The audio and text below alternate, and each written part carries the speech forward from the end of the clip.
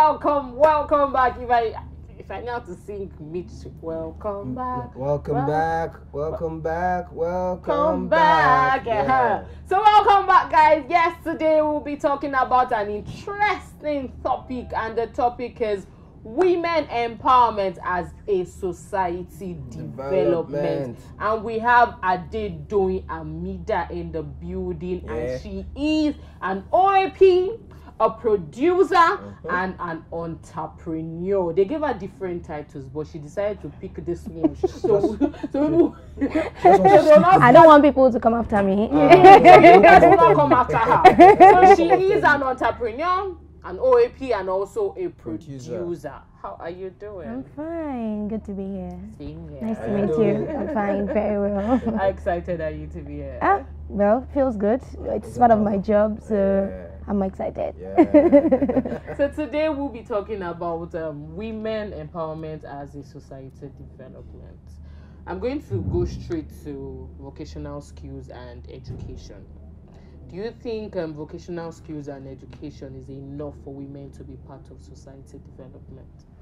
Oh yeah, I, I really agree because um, back in the days when we had our forefathers and mothers getting married, you remember that in the 20th century, after you're married to your husband, you don't have the opportunity to do whatsoever, maybe go outside. The highest they can do for you is open a shop for you in front of your husband's house. Why are you smiling, princess? Do you have- is, that a history or No. so I think with education and empowerment is a good start for women. And if you look at our society at the moment, we don't have enough women, but we are trying. To start with, um, let's go into um, the leadership in terms of leadership.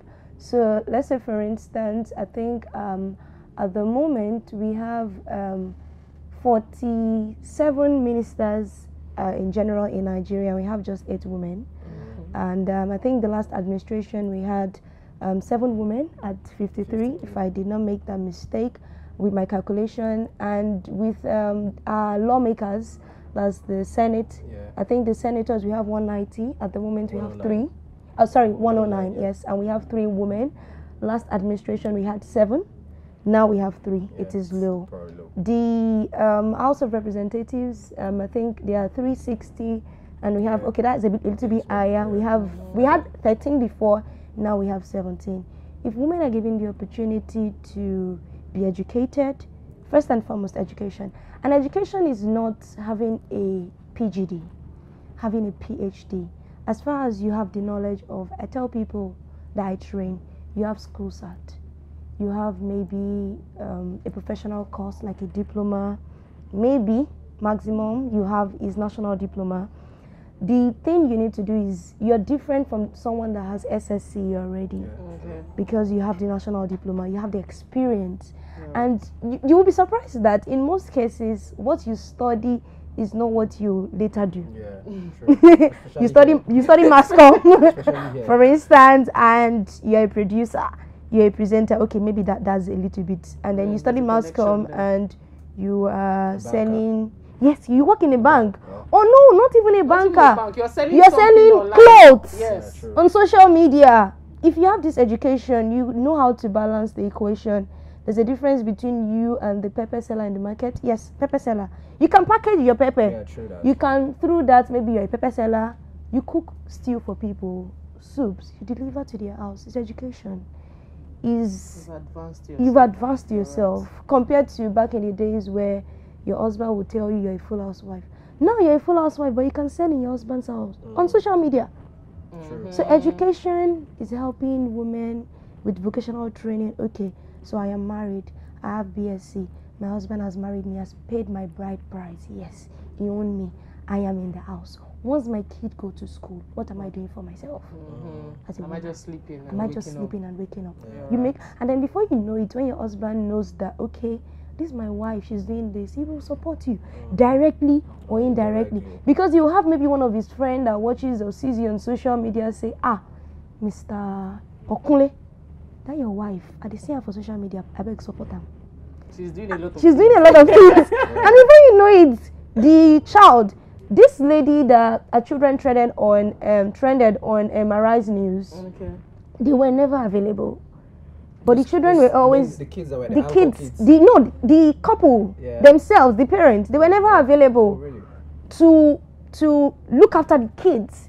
But she said that day she was just around and the kids started all their drama and she just felt okay, let me just record, this them. thing. And then she recorded, she posted it, and before we knew it, people were like, wow, wow, wow. And now she she's able to open a page for her children, and before you know it, she has empowered herself, she has empowered her children, and people would ask for more. Like, please, I want to see my child. I want to, and before you know it, they're passing the message to other women that are there that don't have the experience of what do I want to do at the moment.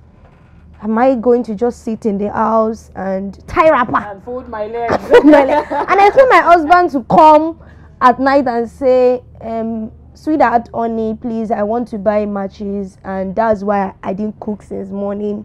You don't have to wait for your husband to do all those things. So if women are given the opportunity to do all these things, I want to believe it's a good way to start. So education, vocational skill, yeah, women, please Good do one it. for them, right? So um, when you said you're talking about vocational skills and all of that, so yeah. what are what are those initiatives, you know, or what are those vocational skills women should look at, you know, women all over the world, or women in Nigeria. Let's even start with our country, women in Nigeria. What are some of these vocational skills women should look at instead of just sitting at home, like you said, and you have to wait for your husband before you buy Vocational matches. skills that they can learn without even doing too Too much, or much. breaking the bank, or yeah. just yeah. Oh, okay. So I'm going to start with Yoruba adage that says "Atelo weni kintonije." That's your palm This your doesn't Yoruba is deceive. it means your palm doesn't deceive you. So to start with, there is nothing you can. I started as far back as um, 2014, and I didn't have enough. I didn't have any money to start any vocational skills. To God be the glory, I've had people in my school, at least four students that have traveled abroad. I have a guy who is who was actually an HR in a company, and he told himself, "I don't want to work for anyone. I want to travel abroad. What can I do?" As low as I'm not going to see my price at the moment. So. no, it's, it's not. I mean to train. Yes. Yes. I started my, my vocational training with 2000. I collect 2000 for people. A lot of people gave me a backlash. Do you know what you're doing? 2000. Yeah. You need to learn how to enter into the market system. mm-hmm. Like, okay, know your environment. That. These are my target audience. yeah. The woman, what age category? Is it from age 16 or age 18. 18 or 40? When you understand your environment 1st Mm-hmm. you understand your target audience. Who are your target audience? Can they afford Yeah. Oh, I'm giving out. 100k? No, they can't. Okay, let me break it down back. Can they afford 10,000? Okay, yes, they can afford 10,000. When you, and then trust, consistency. You are Yeah. consistent with what you are giving. They know it is 10,000. They know they cannot get that 10,000 naira elsewhere. People will come and say 10,000. No, I'm not going to, I'm not going to learn. You can't do anything. But the quality, your market will sell you. When they know that, no, this person collecting 10,000 naira will teach me more than someone that would that would sell or like train me at 100,000. People will rush. Yeah. Before you know it, you increase your money from 10,000. No, I'm no longer collecting 10,000, 20k. They will come because of quality Yeah. and not quantity. So you don't need to break the bank. As a woman, I want to start this skill. I don't have money. The first thing is trust. People need to trust you that okay, I want to sell this sorry. I want to sell this to people and let's say the retail price or the cost price is 500 and she's selling for 1000 because she wants to make 500 no i'm not going to sell mine 1000 i'll sell it 600 if i know it pays me at 600 naira. So when you buy from me and then you know 600 ah, it's the same quality with 1000 you will want to buy from me Yeah. at 1000 because you trust me. I'm entering into the market system already. And then 600 you tell your friend you tell your friend. Before you know it she would also have to look at okay what am i doing good? Okay she's selling 600 i can make 100 naira and still live my life and then still make ends meet you're not making profit at the moment yes loss loss is one thing you should always have at the back of your mind when you're having or doing a business you will lose Yes. Sometimes I go into my room and I can't pay my staff, or maybe I'm not making profit. and I cry. It's not as if people are doing me. No be jazz. it's not jazz. All you need to do is re-strategize. Okay. Go back to your drawing board and see what am I doing best? What am I not doing best? Okay, I didn't do this right. Cancel.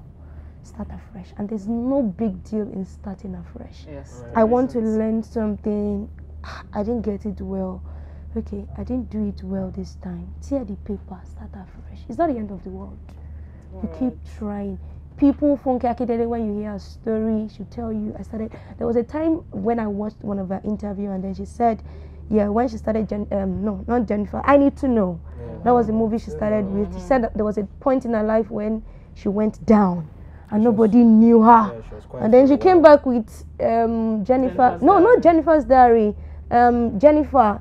Jenifa. The real Jenifa. Jenifa, The real. She did part one, part two, part three, part four. Before she started Jenifa's diary, Mo Abudu has a story. Alakija has a story. Yeah. Like there are top women that are in limelight. Um, we had um, Dora Akunyili, Mhm. may late doc- Dora Akunyili. She was the NAFDAC um, um, DG Mhm. for 20 was it 2001 to 2008 and then you will look at it she was a woman and she was able to do a lot of things as a woman that time we didn't have the opportunity to say okay it was trending sometimes last month that we had fake fake product Product, yeah. Mm-hmm. then there was nothing like fake product once she says this is fake this is fake True. and that thing stood by because now when you buy a product you can scan for the code and know if it is an original, Original or if product, it is yeah. fake we have um, um, our former minister of finance 2011 okonjo-iweala uh, at the moment she's the dg of world WTO. trade uh, organization since 2021 she never had bad record. And for a woman to be at that pace a woman once she gets pregnant she has the feeling of okay i'm go- i'm carrying an human. I'm going to carry that human for another 8 to 9 months. And then she's able to after giving birth try to take care of that child. And then before you know it put that child through one year that child six months that child starts to eat food mm. maybe pap custard and the likes. At one year two years go to daycare and everything. The mother is the first person to know what the child is going to become before the father. I'm not saying the fathers are not trying. True that. don't come after me once again. But the mother knows that okay this child is going to become a pilot and she's going to put the child through the father will now say no i don't want my child to become a pilot. I want my child to become a broadcaster. Then the woman will say okay but i think my child's strength is pilot. Why not let us give him or her a trial like the opportunity. okay she's not meeting up with that opportunity. Okay you said Broadcast. broadcaster. Okay let's give it a try. The mother knows first what a child is going to become. That is why, in most cases, before a child, male or female, gets married, the mother will know. Like, the father will not say, ah, ah, so you've known for a long time. I say, ah,